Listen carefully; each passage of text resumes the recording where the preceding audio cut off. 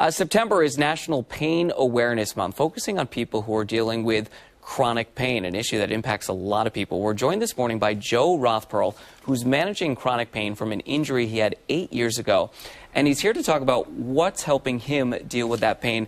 Joe, good morning, and thank good you morning. for being here to share thank your you. story. We appreciate it. Tell people a little bit about um, your story, that be, this journey that began eight years ago for you.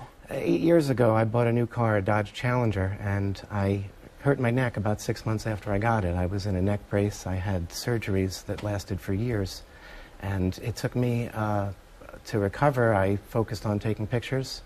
I couldn't take pictures of the new car I got, so I started collecting Hot Wheels diecast and other Challengers similar size. Yeah. and taking pictures, and it made me smile so much I felt I needed to share it. So I started a blog, which turned into a website, challengeroftheday.com, and uh, it just took off from there. Sharing the smiles came back to me.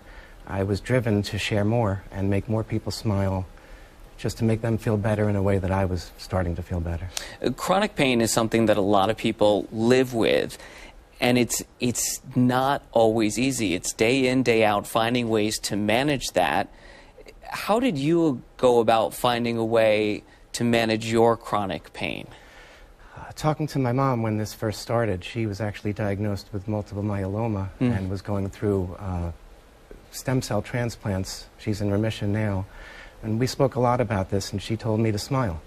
That even when you're not feeling well, smiling sends signals to your brain, and it's, uh, your brain can't resist it. it. It automatically gets those happy feelings. Mhm. And I just trained myself to do that. I told myself to think positive, be positive every day. Uh, I shared it in my posts every day, and it kind of became a self fulfilling prophecy that smiling now comes easy to me, and it makes me feel better every time I do it, and I just want to do it more and share that feeling with other people so that they can get better in the way that I have. I imagine for each individual, it's a journey to kind of find both how you manage that chronic pain and how you maintain that mentality of smiling and happiness. So you are now sharing your journey with other people who are also impacted by chronic pain and people, just everyday people, about kind of maintaining uh, that persona as you move forward and that happiness. Absolutely. Why is it so important for you to share that message now? Uh, I feel that I'm, I'm driven to do this. Smiling helped me feel better. Smiling helped me go from a person who was on morphine, was taking medication, realized that wasn't helping me and that I was going to have to live with this pain that may never go away. And I had to compartmentalize it and find a way to do that. And perspective was the way I came across it. Taking pictures helped me smile. And it started that simply, just taking pictures of something I loved. And initially it was the car I got, but it turned into the small cars because I couldn't get out and drive for years at a time. Mm-hmm. Um, and sharing it just brought such smile and joy to me. I, I just felt that this was a gift that I needed to share with other people. And hopefully they can uh, take a cue from it. And I've met a lot of people who have similar issues. There, Mm. there are over 50 million people who suffer with chronic pain every day in this country. And that doesn't include children, that's just adults. Mm. Over 20 million people are, of them are impacted daily with their ability to function and work and do other things, take care of their family. Um, I'm very grateful and thankful that I had my family to take care of me and help me through this.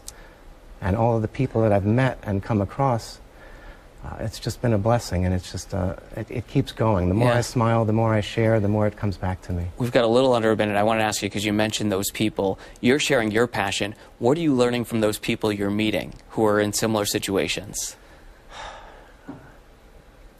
I'm learning more about what I went through. I'm learning more about how difficult it really was. I'm in a place right now where it's easy for me to talk about this. This is not something that most people have an easy time talking about it, and I think that's a real part of this issue is that the majority of visits for um, hospitals and health things like this are for pain. Pain is the number one thing. It's the common denominator that brings us all together, and yet it's the hardest thing for people to talk about. And on the other end, it's the hardest thing for people to listen. Yeah. So if, if you have pain, if you have chronic pain, you need to find an outlet. You need to find something you enjoy and focus on that and try to smile. Smiling is the number one thing. It will come back to you.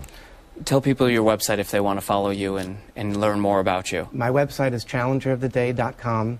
I have another website, it's eastwayinsuranceagency.com. It's my job, and we share photos, we share pictures to make people smile every day. uh, in my job, we help people with Medicare A and B insurance. We deal with a lot of people with chronic pain and um, issues, and um, we try to help them smile too. All right, Joe, thank you so much for sharing your story and for your time this Thank morning. you really appreciate much, it. Matt. Great to meet you. Thank you.